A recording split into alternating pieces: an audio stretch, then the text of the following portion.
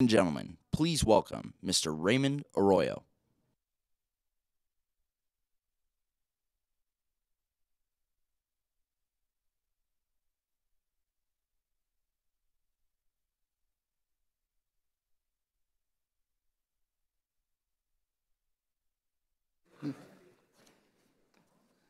Good evening, everyone. I think I've, I've, I've, met many of you in this audience. For those I haven't had the chance to meet, my name is John Heubusch, and I have the honor of being the executive director of the Ronald Reagan Presidential Foundation and Institute. Thanks for coming out this evening. In honor of our men and women in, in uniform who defend our freedoms around the world, if you please stand and join me for the Pledge of Allegiance. I pledge allegiance to the flag of the United States of America and to the republic for which it stands, one nation, under God, indivisible, with liberty and justice for all. Thanks. Please be seated.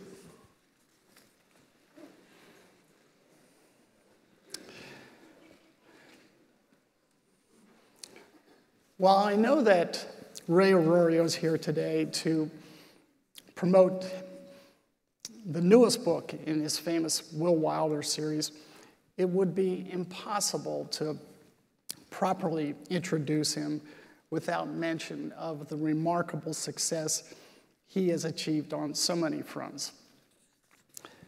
Many of you, uh, particularly fans of Fox News, might have seen Ray regularly on various programs there, certainly including Laura Ingraham's terrific show. But I also know that many of you will clearly recognize Ray for another singular achievement, and that being his founding, of course, of the EWTN, uh, EWTN uh, Global Catholic Network.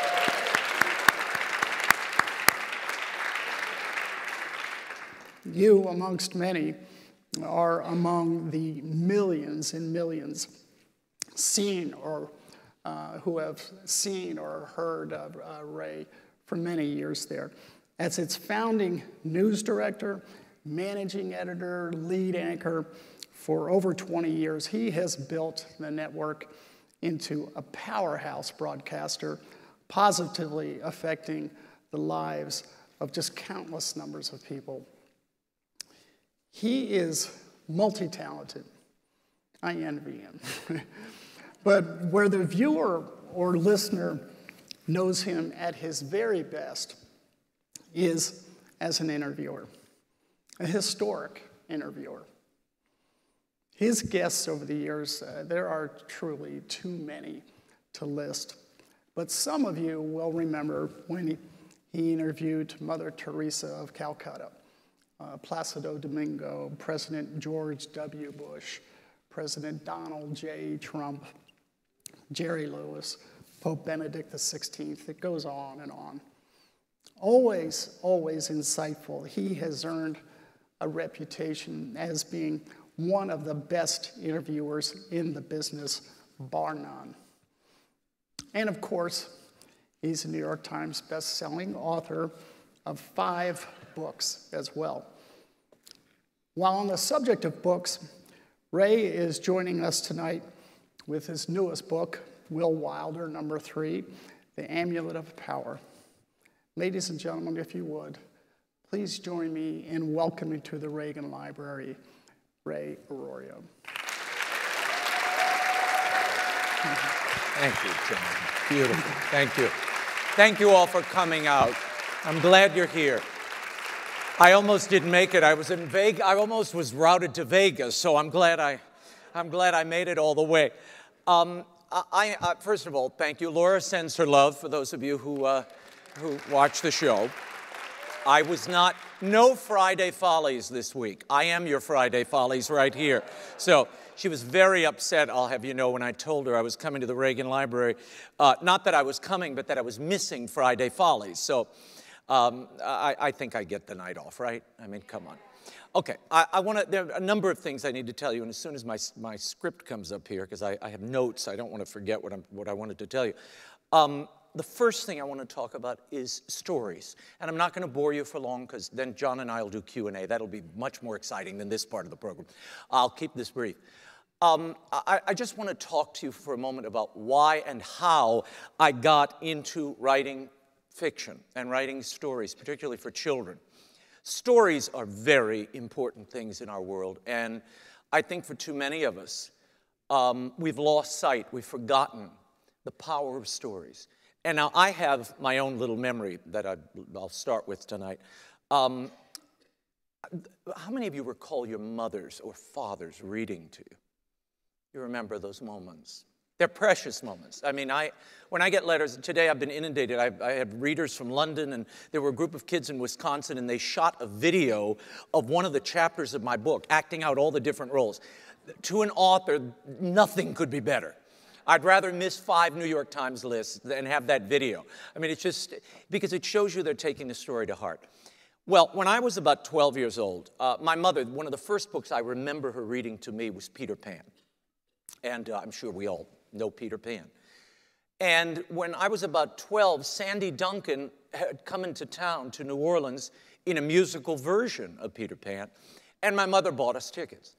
And the day the show was to premiere, my younger brother, who's four years younger, complained because he didn't have a ticket, so she gave hers up. And her instruction to us was we were like in the fourth row. She said, When the show is over, take your brother's hand, go straight up the aisle, do it before everybody comes out, like during curtain call, and I'll be waiting at the top of the aisle, the main aisle of the Saenger Theater in New Orleans. I said, fine, I'll do that.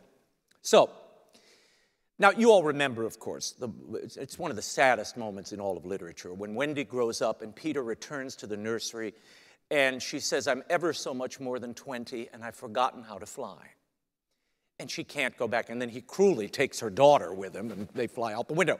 So, so at the end of the musical, Sandy Duncan's flying around, and at this point, she's not just flying back and forth as she has for the two hours of the show, but she's flying out over the proscenium, and she's throwing pixie dust, and people are on their feet, and it's a euphoric moment. I grab my brother's hand, and I book up the main aisle of the Saenger Theater.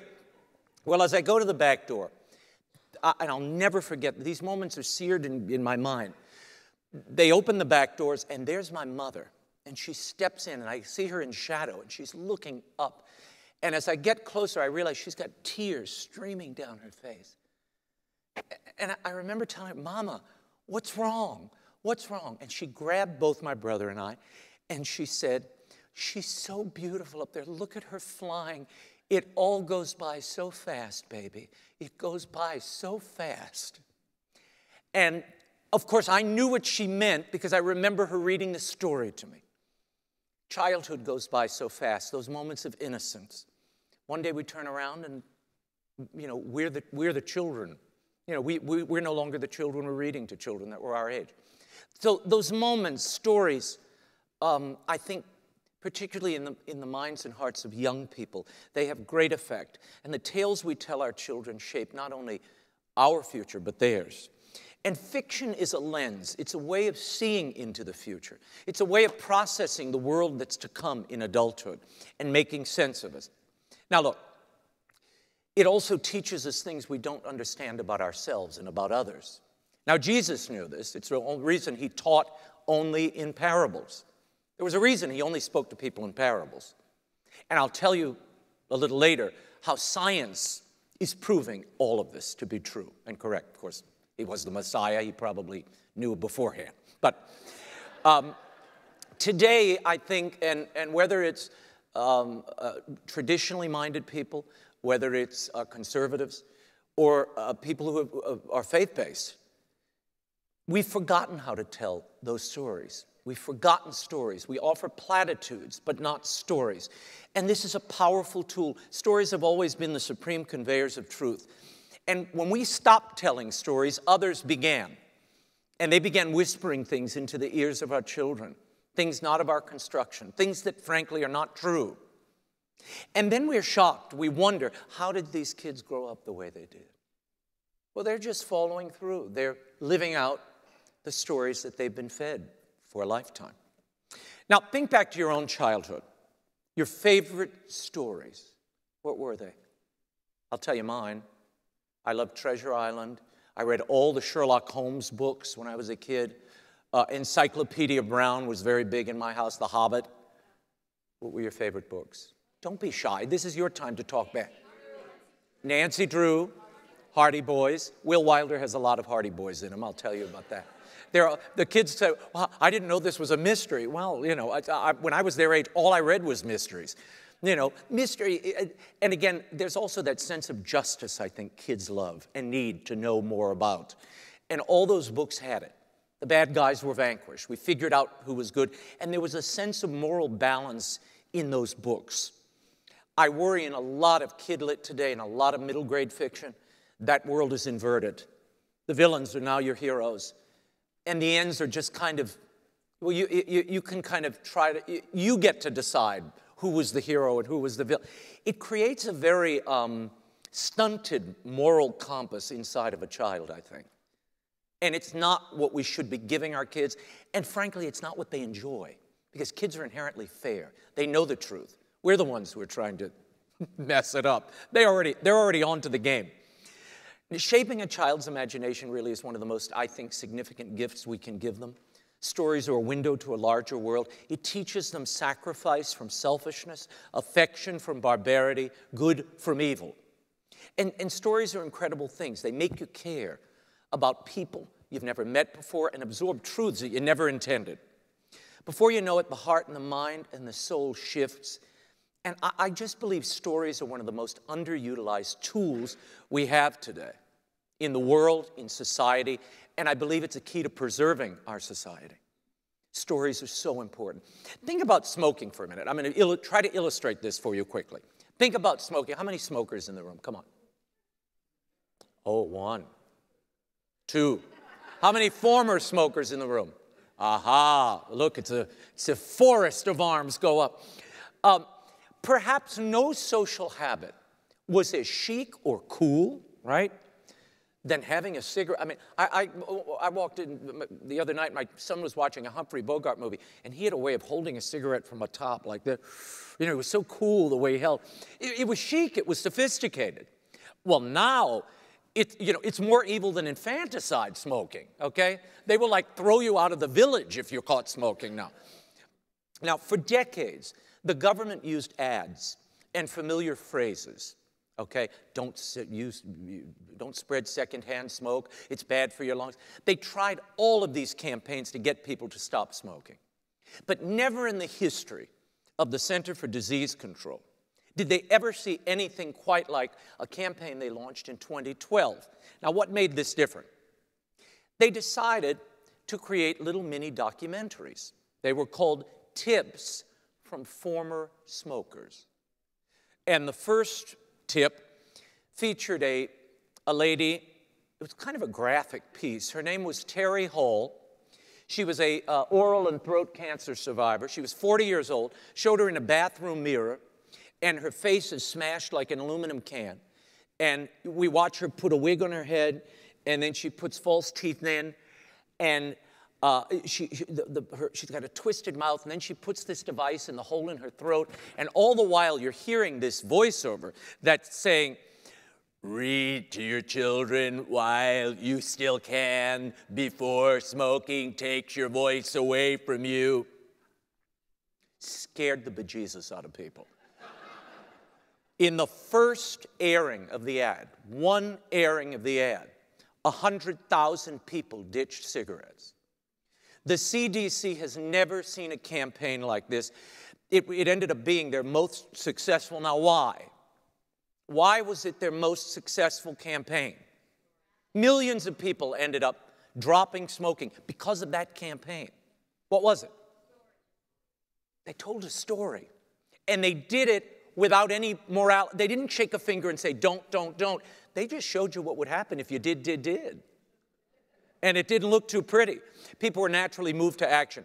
For society, for we as a people to save ourselves, I believe nourishing stories filled with wonder, filled with our values, are absolutely essential and necessary.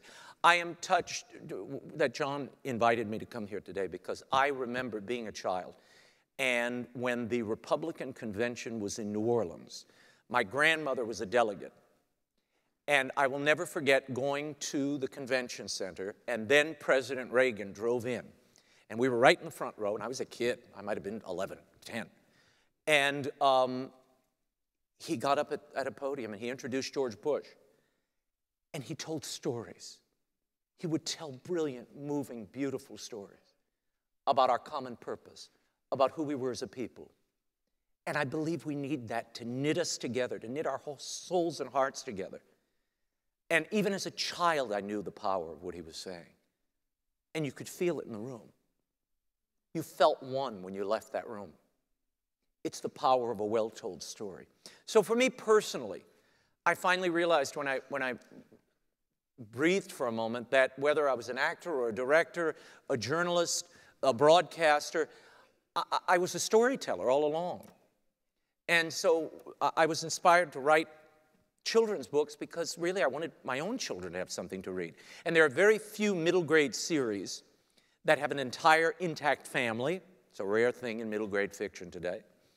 Um, Will Wilder is a 12 year old with a special gift. Now, I will admit there are dangers to writing fiction, a lot of them. Because you walk into a restaurant, I, I often write in a corner of a coffee shop. And uh, I wrote the first book in Northern Virginia when we lived in Virginia. And every day around 3 o'clock, a lady would come in, very well dressed lady with a briefcase. She'd get in line to get her latte, frappa, rappa, whatever it was. And she'd look over. You know, you can feel when people are looking at you. And she'd look in the corner. Well, when I edit, I, if you've ever listened to any of my audiobooks, I do all the voices. I do like 33 voices on the audiobooks. Well, when I edit, and it's a habit of my old acting days, I will go through and read the characters and no, Will, you can't go there. Oh, but Aunt Lucille, please. But you can't do that now, dear. Go the other way. I'll edit, talking it out so I can hear the cadence and make sure it all works. Well, this woman is looking over at me every day when she gets in line. Well, finally, after about three weeks of this, she comes over and she slides a business card next to my computer. And I look down and it says Head of Psychiatric Services, Johns Hopkins University. And she says, If you ever need a referral, I can help you.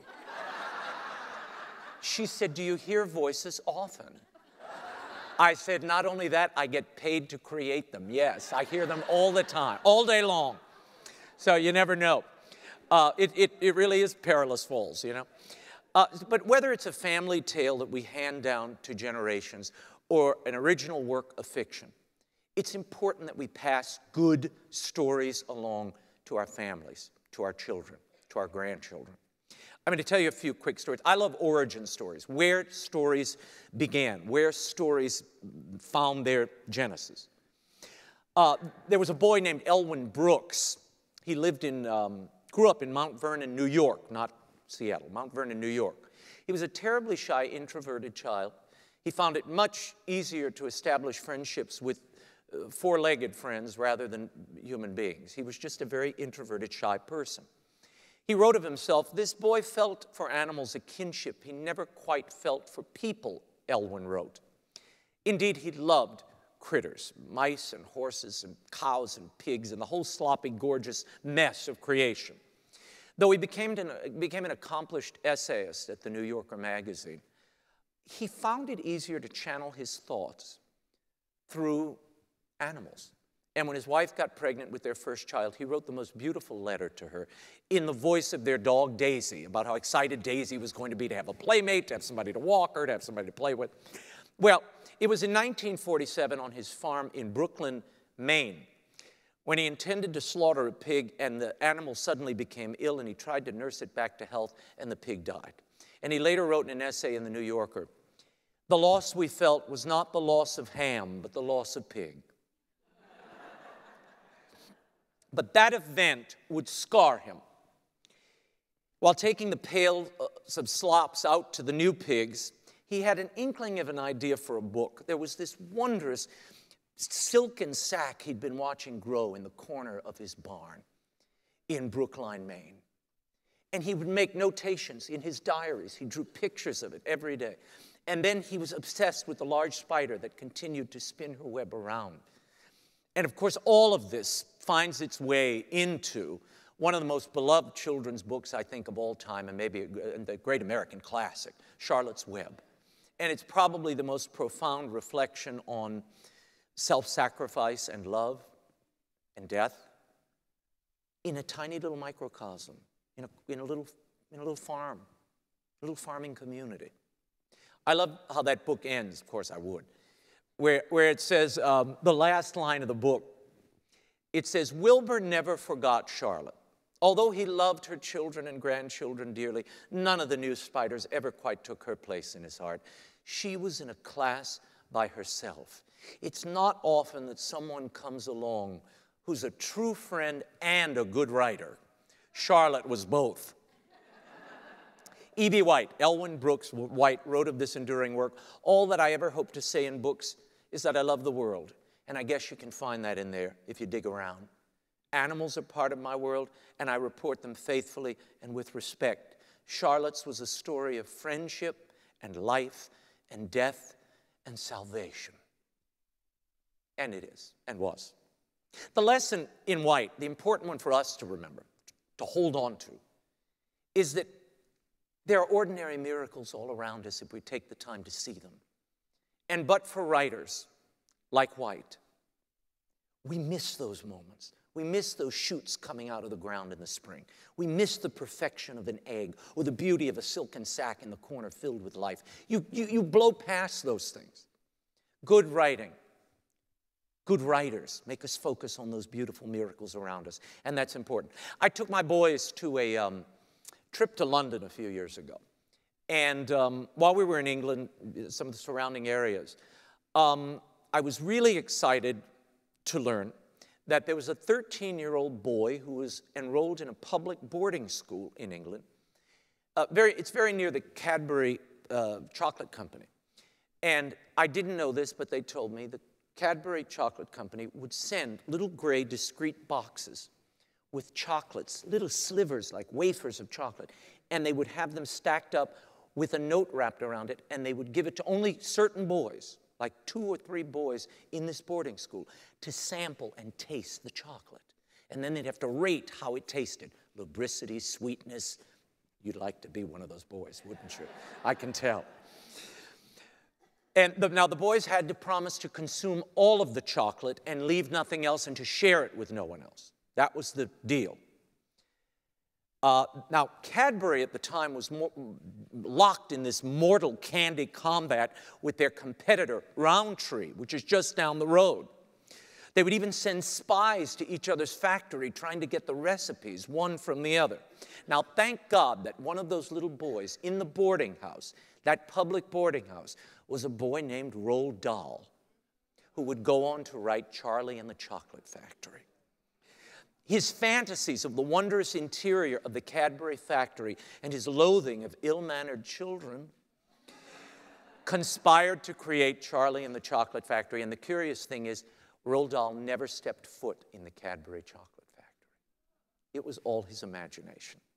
Now, I was on a subway in New York recently, and um, there was a mother and daughter across the aisle from me. And I love New York subways because everybody's reading something, usually, when they don't have their earbuds on or when they're not breakdancing in the aisle they're, they're reading.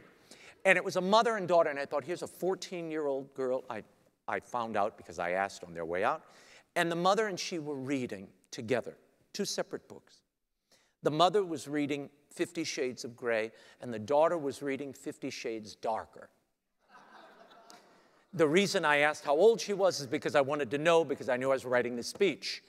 She was 14 years old. Now, this is like child abuse to allow a kid to read this kind of trash, I mean, I'm not going to, this is a family show, so I'm not getting into the details, but if you show me what kids are reading or watching or listening to today, I can tell you what your country is going to look like tomorrow and the next day and 10 years from now. This is the way we plant and build the future. People think it's politics or the law. Mm-mm-mm. It's the culture. It's the stories we tell. It's the stories we pass along and it's the ones our children absorb and take to heart. That makes the future, nothing else. Because in that sits faith and values and morality and citizenship and self respect. It's all taught in stories, or not, or not. And that's the challenge we face today. Um, I want to run ahead to, to because I want to give time for Q&A. We have a crisis upon us now.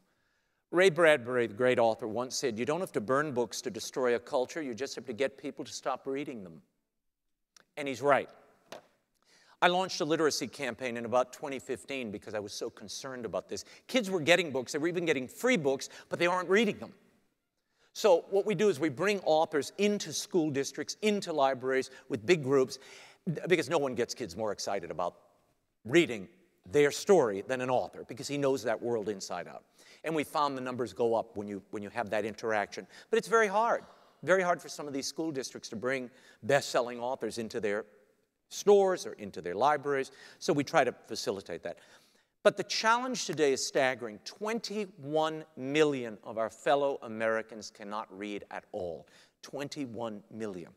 45 million are marginally illiterate, and according to the Department of Justice, one fifth of high school graduates, one fifth, can't read their diploma. Let that sink in. And the implications for a citizenry that simply is not literate. One in four children grow up in America without knowing how to read. And then there's this staggering, awful statistic. Maybe one of the most important things I'll tell you all night. Well, I'm going to talk about Will Wilder. The second most important thing I'm going to tell you all night 67% of all U.S. fourth graders are below proficiency in reading. 67%. Now, get this two thirds of students who cannot read proficiently by the end of fourth grade will end up in jail or on welfare. Two thirds. There's a very strong correlation between incarceration and illiteracy. Profound. And all sorts of other behaviors that I won't go into. The welfare and the you know, drug addiction, I mean, it goes, unemployment. There are municipalities where they use fourth grade reading levels to lay out their 10 year plan for building prisons in some municipalities.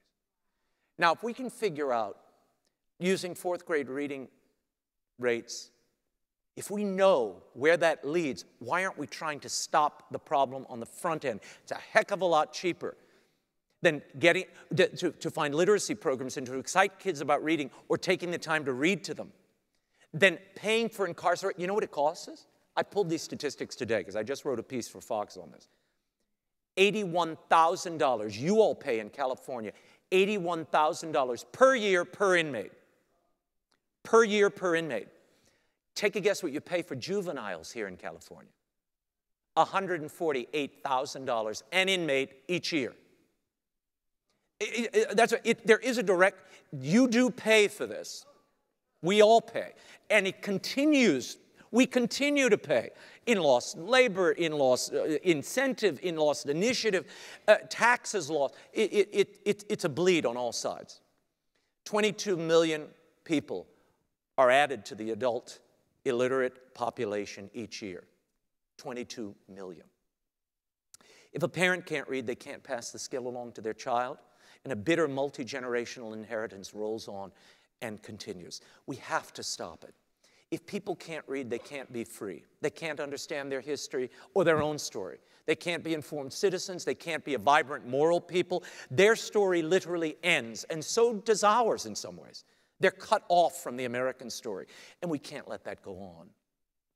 It's a really important, critical thing, and I, I, I, I hope you will take the time to read to people in your community, children, the elderly, the elderly. My friend Meghan Cox Gurdon who's the um, children's review book reviewer at the Wall Street Journal, has written a fantastic book called The Enchanted Hour. And in that book, she talks about the power, the bonds that are established when you read to a child and you put that child close to you, the proximity, there are all kinds of neurons that fire, there are all kinds of emotional connections. And as they grow, in particularly into the difficult teenage years, you have that imaginative and literary bond and emotional bond with them that otherwise you don't get, you don't have. Because you've been through all these imaginative worlds, and it's not just imaginative, it's real. In here, it's real.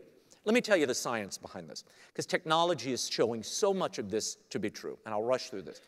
Psychologist David Kidd and Emanuel Castano at the New School for Social Research in New York had individuals read selected excerpts of fictions and fiction and they applied five tests. And they found that readers transferred the fictional experience, the understanding found there, to the real world. Here's what their paper said The same psychological process is used to navigate fiction we use in real relationships. Fiction is not a simulator of social experience, it is a social experience. True understanding and sympathy for others, empathy, are born in every story you read because you're connect, you're literally walking in the body. You're not walking in their shoes. You're walking in the body of other characters, other people in other places that you'd never go. This is the most fascinating thing. I was at Princeton years ago. My son didn't get in, but we went. And he's at Notre Dame. Don't cry for Alex. But um, got to get a water. Um, we went to Princeton, and the girl who was leading the tour was in a research unit. She found out I was an author, and she walked me over to the the unit where they were doing this research, and the professor gave me this entire packet of papers. It's the best thing I ever got out of Princeton, and the best thing I ever got out of a college tour, I'll tell you. Here's what they found they put individuals in an MRI, and they told all of them the same stories through earbuds. They read them the same chapter of Charles Dickens. Their brains engaged in the same zone at the same time as the story was read. Their breathing and blood flow unified. Now, these are Chinese people, black people, white people, poor people, rich people, middle class, upper class. They had like 800 people they put in the MRI. The blood flow unified, the breathing unified, achieving what the researchers called, and what Ronald Reagan and Jesus already knew, brain synchronicity. Beyond politics or prejudices, the story had the power to get people's brains to react in the same way at the same time. Story's not just entertaining, it's a brain device with deep and important persuasive powers. Now, I know this, and there are other people with far more insidious ends who know it too. We better get caught up.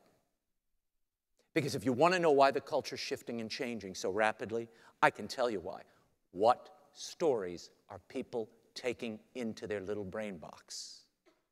That tells the tale. So my Will Wilder series really was born um, where they're all born. I, I, I, often say Will Wilder was a soap opera because he started at bath time for my kids just to keep them entertained and to move along to the next step in the bathing process.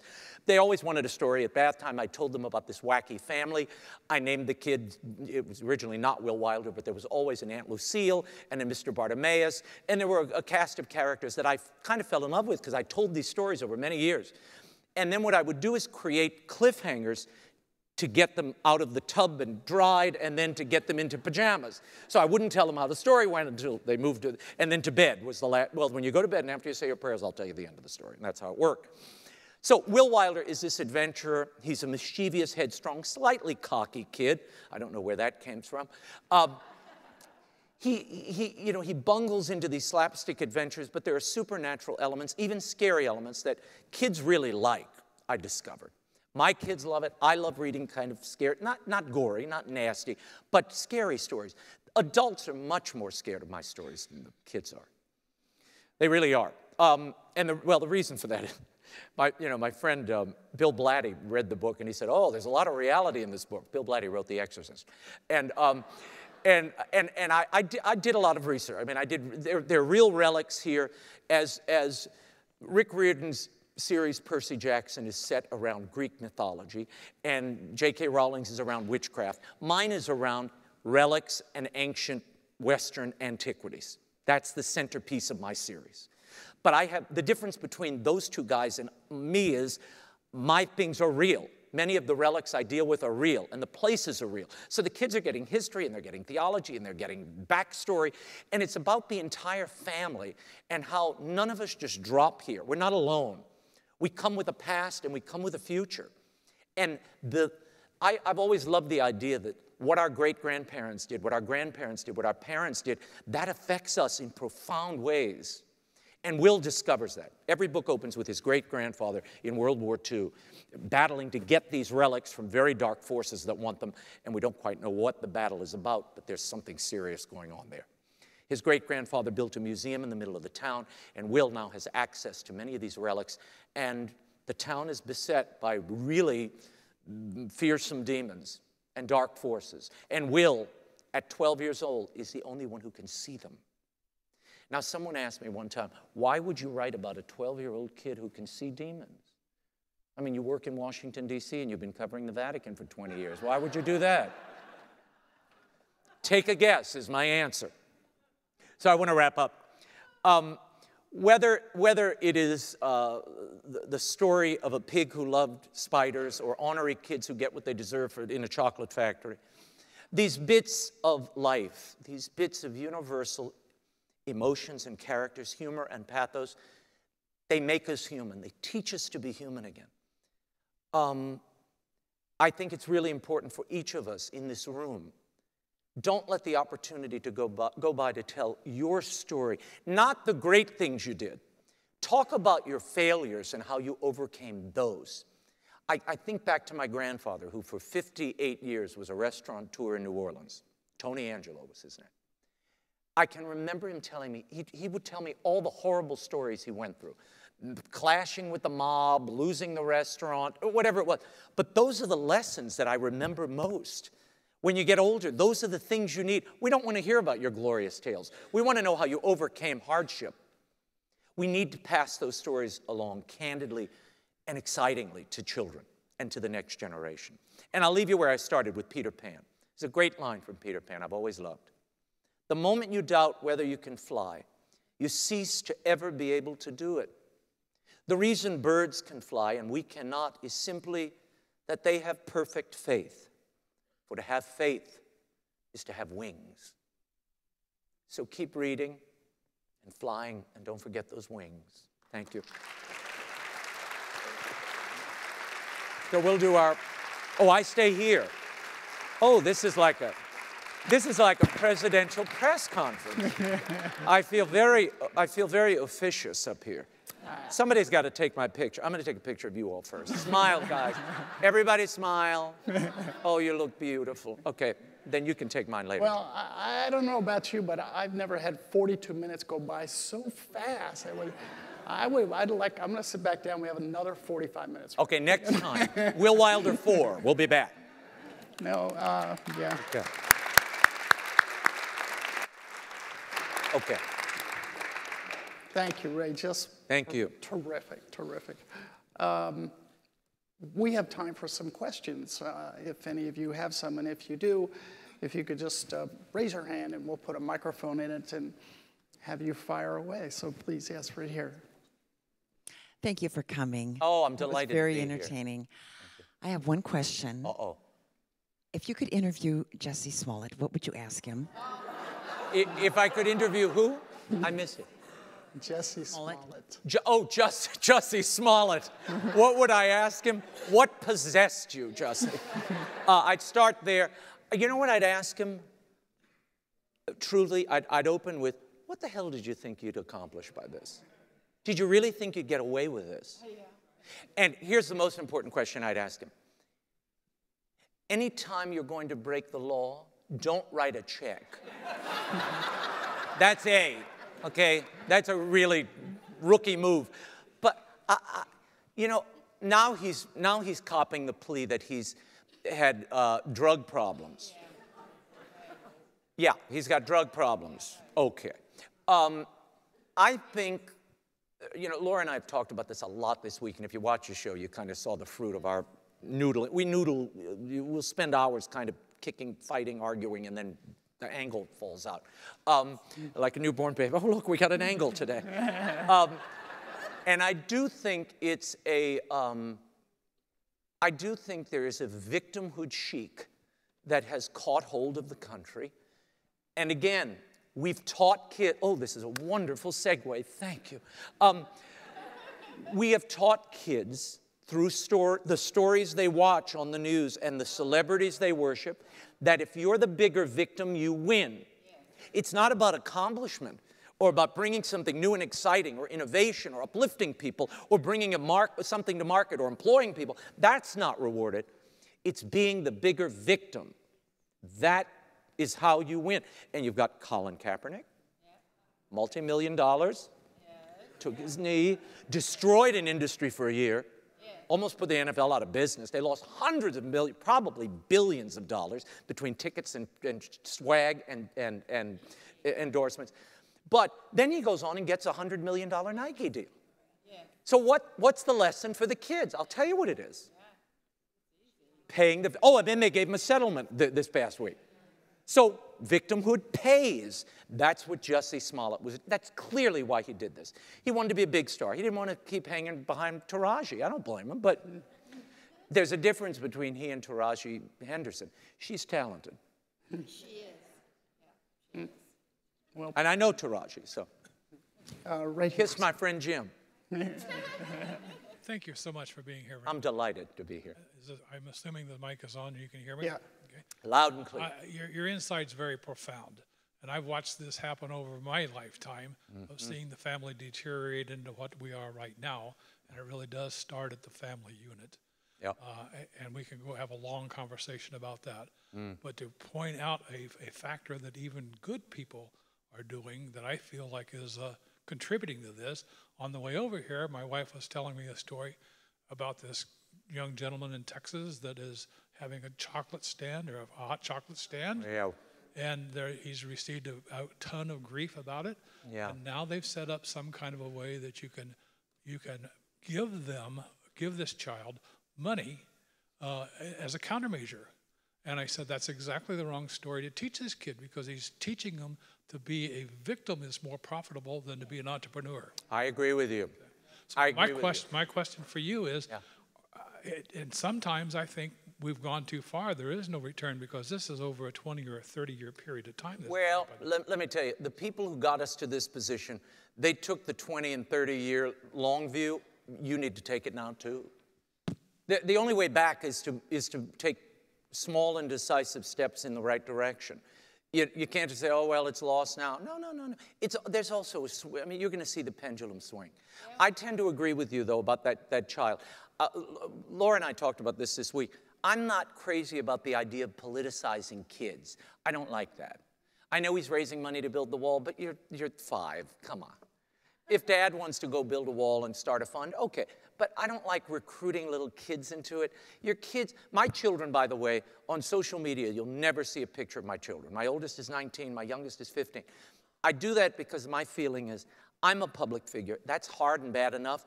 They don't need to be public figures. They shouldn't be. I mean, it's just, uh, and then you're attached to whatever your parents thought or it's, it's, I don't want them to benefit nor be punished for whatever I did. They have to be their own people. Um, but I, I, agree with your, I agree with your insight on this victimhood thing. It's, um, it creeps in in ways people don't even see because it's cultural. It's something in the culture. Yes, ma'am. Yes. Oh, oh, the lady in the back, and then you. You're next. Oh, I'll be like Trump. No, no, no, no, no. I said no. You, you in the back. You're fake news, but go. One question. Go.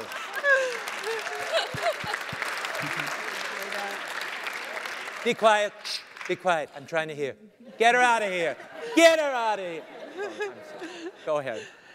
It's really simple. Uh, should I be buying the other two books to read this one? How many do you have? How many kids do you have? I have one 12 year old. Oh, well, of course you should buy them all. yes. Here's why. Now, they are self contained adventures, but um, there, there are there's big character arcs, and things pay off in book three that won't pay off, and then there are other things that are going to pay off in later books. But the, the characters do mature through the series, but they are self contained adventures. So, but it's the whole family. I mean, you, know, the woman who bought my series, Barbara Marcus at Random House, also bought uh, Harry Potter, that little story, you might have heard about it. Um, 20 years ago, she bought Harry Potter. And she urged Joanne Rowling not to age Harry Potter. And she did, as we all know. And what happens is, and you can see it in the sales of the book, and of course, if you've read the books, my, my kids stopped reading, I think, at like book four or five. And the reason was because the books got very dark and Harry got older than they were. So it was like it moved beyond their experience. So they were like, you know, I'm not, I don't need to go there. So Barbara urged me to leave Will at 12 years old throughout the series, so I have. And I think that's the right decision for middle grade fiction because kids like to read in a blaze. They go one, two, three, four. They'll burn through the whole series. I mean, these kids, I, I literally got a note today. This girl got the book and devoured the whole thing in five hours. if I could write a quarter that fast. it only takes me a year to write the things. But, but yeah, you could, it's fun to have them all. And I, I urge you, read them as a family because in the foreground is an adventure for kids. It's like a thrill ride for kids. In the background is something for adults. And I loved books like that, like Peter Pan. I, go, I went back when I was reading my children Peter Pan or reading them Treasure Island. I'm weeping like a baby reading it to them. They're like, Daddy, what's wrong? And I'm like, oh, It's okay. It's okay.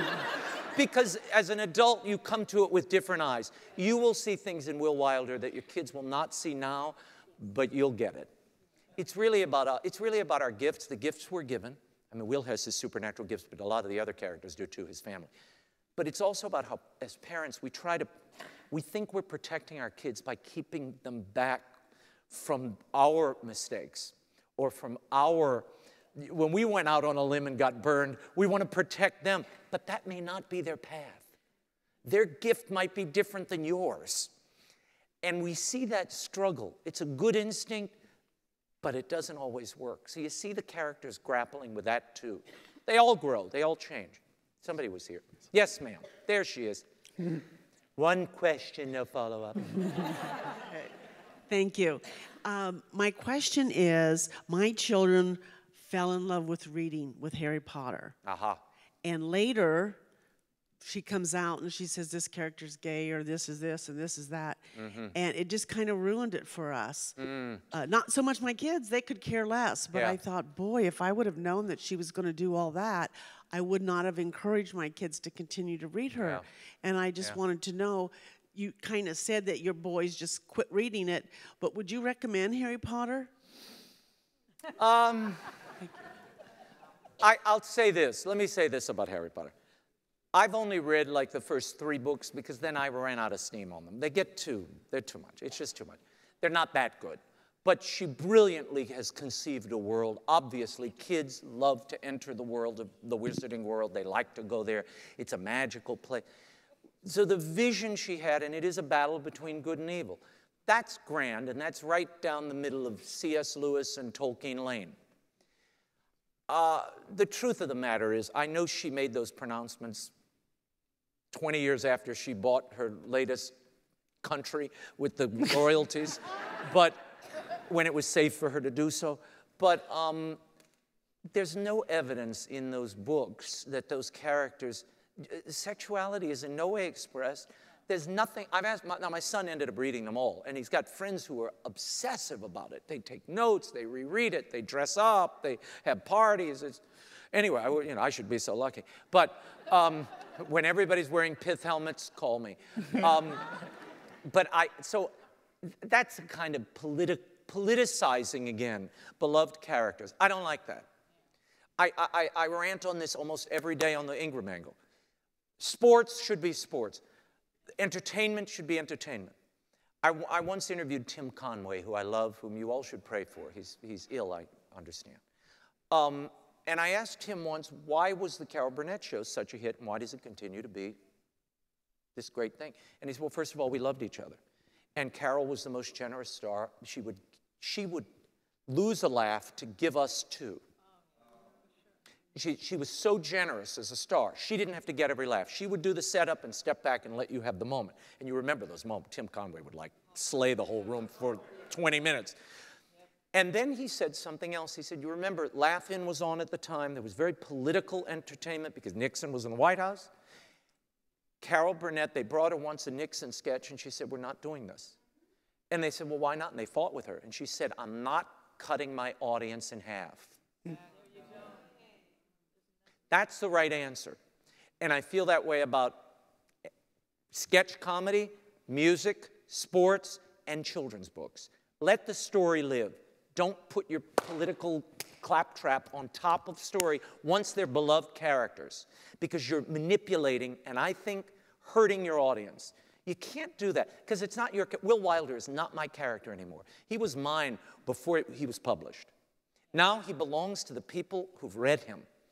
50% of that is in here in my reader's head and heart. He's theirs. So for me to now say, well, you know, Will is really Jill Wilder.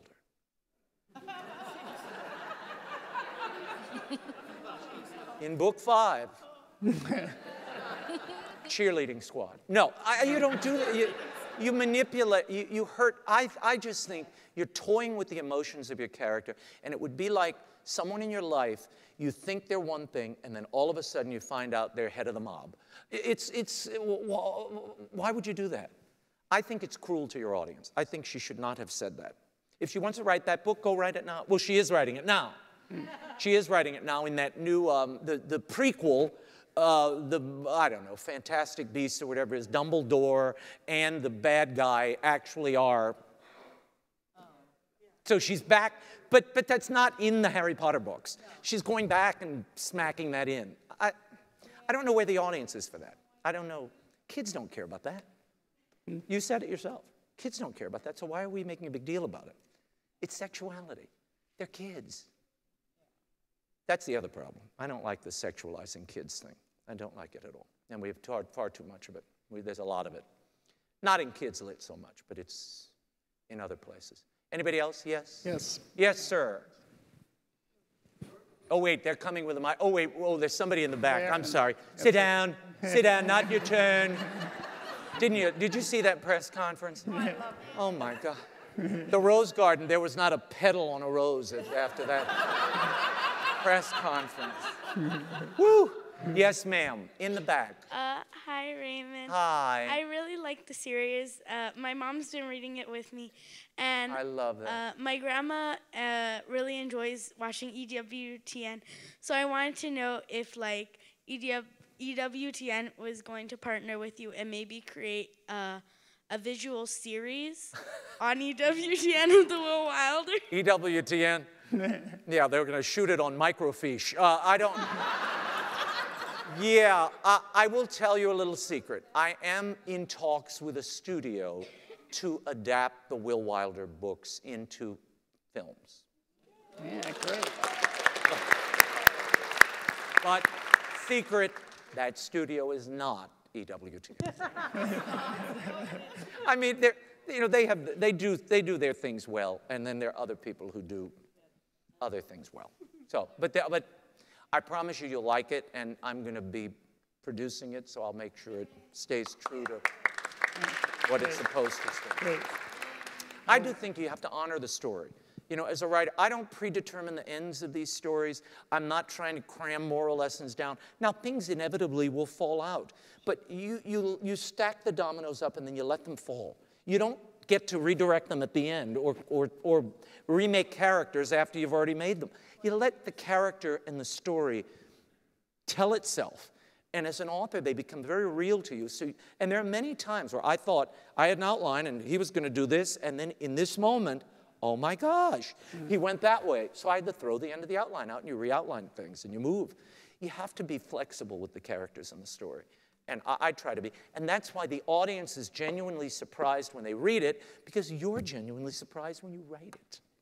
now, that's scary. It's a scary thing. But you have to be true and let it happen. You can't fight it. Or it's, you've read those books that are just nothing happens, or it's so predictable. I'll come to you in a second. There's a, yeah. someone over here. Yes, sir. Well, first of all, enjoyed your talk very much. Oh, thank you. And uh, speaking of cutting an audience in half, what are your thoughts about you uh, as an author and others, especially for the younger generation, and the relationship between that and these kids with their iPhones who can't even look up from them? Are they well, even reading anymore? I've seen a lot of non-reading. There, there is there is a drop off of reading. The statistics tell us there is a drop off because kids are spending more and more time on screens and individual screens. Now, what I don't like, I'll give you a little, I'm going to ruin the third book for you a little bit. Um, in the third book, a DJ comes to town and he starts playing this music, and it's bewitching music, and the whole town is swept up in it. Young people love it, old people love it. But they all, and they all have their earbuds because they're just in their zone and they're loving it, and it's just my little moment. And you see the isolation in the town of Perilous Falls. Now, I didn't intend to tell this story, but that's what happens in the story. And it does speak to the isolation I think we have in our society today. People are isolated. You see it in homes. I have to so look. We make I, we have to make an effort in our home because the kids want to. Oh, I'm going to go watch this, and Rebecca's going to watch some old creaky thing about the Queen, and uh, you know, and, and, I'm writing, and so somebody else is watching a YouTube video at Disney World, and everybody's in their own little corner of the world.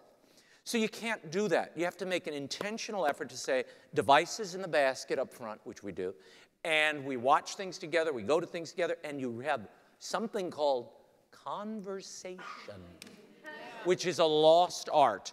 Um, I think, but reading, if you read, to, if you read with kids, here's, the, here's why I advocate reading with kids and reading with the elderly, because we forget about the elderly. Elderly are ignored, they're alone, they need those emotional bonds. And when you watch the stats on them, like if they're hooked up to machines and people are reading with them and spending time, everything levels off. Everything becomes, everything normalizes. Um, so it works for children, it works for middle age, and it works when we're at the end of life. Um, the most important thing is this when you read, and you, certainly when you read my books, you inevitably are going to stop, and the kid's going to go, What's Joan of Arc's helmet? Who's Joan of Arc? Good question. Now, I explain it, but it gives the parent and the kid a chance to learn something together. I mean, it's, it, it, and because my books are kind of historical, there's a lot of moments for the parent or the grandparent or the aunt or uncle to stop. The kid will inevitably ask. That conversation happens when you're reading together. But I think if you give a kid a story they want to read, they'll read it. Am I right, boys? Mm-hmm. I mean, if you really want a story, and let them lead you. There's certain stories kids just don't want to, just because we like Rebecca of Sunnybrook Farm, my son does not want to look at a cover with a little girl in a calico dress on. He's not going to read it.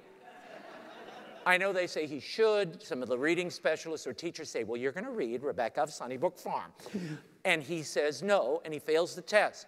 But We've got to let them read the things they're interested in. It might be trucks, it might be science, it might be space, it might be animals or monsters or lizards or cat guts. It could be anything. But let them go. If you let them read and you guide them a little bit, they'll find their way to Huck Finn and Shakespeare and Moliere. But you got to let them be where they are. And I do think too early we cram things that are, that are not, they're not ready for either linguistically or intellectually. They're just not ready for it yet. And we force it on them at an early age, and they never go back to that. Shakespeare, the, the bard is law. I love. I was a Shakespearean actor for years. I love Shakespeare. He, it, it, I, am one of the fools driving. I'm, I'm on the 405 here. I've got John Gielgud reciting Shakespeare on. I love Shakespeare. I could marinate in it all day. Um, but a, a kid who's 10 is not going to want to hear it. They just don't want to hear it and you've got to introduce them to the story and show it to them and then give them the text, not the other way around. I took my kids to see Shakespeare and then they got it in school. Because then you have a visual reference, they know the story, and then they can appreciate the, the beauty of the language. I'm sorry, I'm bloviating. Anybody, who else? We have time for one. One more. What, what's the rush, John? no, no, no. Because I know. We got, they, he's good. They're going to throw us all out. There'll no security. Be, the lights will go out. No, but, but before we, we do end, I just want to remind everyone that uh, Ray's going to be signing his books afterwards. So hopefully all of you can come and this. When you buy your three copies, I'll be signing. okay. Not forgetting. I guess. Yes, ma'am. In yellow? No? Yeah. Yes? Yeah, no. that'd be fun. Oh. Very colorful. Okay, great. Hi. I brought my visual aid because I'm as nervous as I'll get out. But um, I, I love that. what is the Sharknado thing you brought there? Was no, this is Destiny. She's a low vision character. Oh. And to just um, the the literacy rate for students with low vision is incredibly, incredibly worse than what you're describing for wow. people with regular vision. And I just kind of stumbled into low vision as a teacher mm-hmm. special education just for three years. So I'm basically a newbie. So um, it would be great to have more characters with low vision, and I wanted to share a story with you. Okay. A researcher named Anne Corn was consulted with Sesame Street. Yep. And, and they said, okay, how would you like us to represent blind kids in our, this is 1970s. Right. And she said, you need to have two characters. You need to have one that's completely no vision and one that has low vision or you know bumps into mm. things. Mm-hmm. And Sesame Street said, uh huh, yeah, uh, checklist, checklist. The only child they featured was one with completely no vision at all. So if you want to talk about isolation, we have kids that don't know how to make eye contact because they don't have the vision. So um, it's not really a question, I guess, but it would be exciting to see students represented with low vision that aren't the evil albino. Yeah. You know, uh, people who bump into walls, but they're good natured, you know. So this was a nice start, but it's Disney. I'd like to see Raymond Arroyo. Okay, I'll, I'll put that in the back. I will tell you, there is a character, and uh, it's, uh, I'm glad you brought that up. I, there's a little boy, I, and I know his mother quite well, Jeni Stepanek, who suffers from a very rare um, form of muscular dystrophy. And when I wrote the character of Max Merriweather, who's in all three books, Max is confined to a wheelchair. He is suffering not only from autism, but from this rare form of muscular dystrophy, and sometimes they go hand in hand. Now, I wrote, I wrote him because Max is the only one who has these premonitions and dreams of what's about to happen to his friends and the community. And I think sometimes, particularly the people I've known with severe disabilities and, and, and, and you know, special needs, we ignore them. They're often so ignored. But in their quiet, they see much more than we do. So I thought I wanted to develop that character. I get more letters from parents and kids with who are wheelchair bound or disabled because so Max is a much bigger part of this story than he was in the last in the first book. He's bigger in the second book and he's really big in the third. And he's got in a later book that's kind of a story that's all his. But um, I am very sensitive to that because when I go to schools, I see kids and they come to me and they say, and, and you know, they're in their wheelchairs and they say, Thank you for writing Max. I see myself in Max. It's important for kids to see themselves, boys and girls of all varieties, shapes, colors, and sizes, as well as uh, special needs. So I, it's there. It's there in that way. I'll keep the sighted, the low sighted in the back of my mind, but, um, and he's not alone. There are other kids who have, well, everybody's got, I, we all have special needs in our own way. We just have to recognize it and, and respect it because sometimes those are gifts in hiding. Just because everybody doesn't applaud it doesn't mean it's not a gift. One more and then we'll go, or you want to go now? One more. Okay, one more and then we'll go. And uh, John, I need to take a pic. Somebody's got to take a picture of me at the podium just so I can say I had my presidential address here at the Reagan Library. No, no. Let me do that. No, no. Okay, now I'll do one. Now get one where I look nice and not so dictatorial. Thank you. Okay, one more. Yes, sir. Yes, sir. Then we'll go sign books, and then we'll go and eat Mexican after that. Uh, my wife stayed home with our kids and read a book to them, and they loved it. And my my grandkids are being taught the same way. And I look around and I see so many women having to work out of the house and nobody at home, nobody to read to them. And then I'm watching the government saying it takes a village to raise kids. I think that's so wrong. It takes a family. And I find that the kids that come from a, a intact family do much better as adults. And it comes from talking, reading, and with my own grandkids, I tell them where I screwed up. And they, uh, what? You did that? but it's Good. I, I just love it. And it, it, comes around reading, it comes around talking and doing things together. And uh, what's happening now, my grandkids are giving books for Christmas. Oh, well, thank you. So I just, just wanted to think we need to change. The outlook of, of a stay-at-home mom's a pretty important person. Well, yes, and look, I, I- d- n- d- to do nothing to disparage working mothers, because my mother was a working mother, but when she came home after working all day, cooking us dinner, going through the homework, making sure we were bathed and brushed our teeth on occasion, she would make sure the last 10 minutes of the day, we would sit at the edge of the bed and she would read to us. And it became a ritual. And when she was, I, I can remember days she was like bone tired, like, and we'd say, No, mom, we got to read the story. And she'd drag herself back to the bed and read the story. But those moments are so precious and important. Doesn't matter how long, do it even in little bits. It's about time spent. Kids really want to be close to you, they do. And, and, and those bonds, I think, last right to the end of life. Okay, we'll go sign books. I'll see you in there. Thank you very much, Greg. Thank you. Great fun. Thank you. Oh, I'm going to take one more. Okay, everybody smile. All right, we got it. Oh, careful.